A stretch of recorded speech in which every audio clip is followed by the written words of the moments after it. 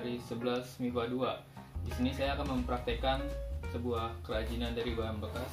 Contohnya ini, ini sebuah mini akuarium. Biasanya digunakan untuk ikan-ikan kecil seperti ikan gapi maupun ikan-ikan cupang seperti itu. Oke, kalau mau tahu cara pembuatannya, simak videonya. Terima kasih.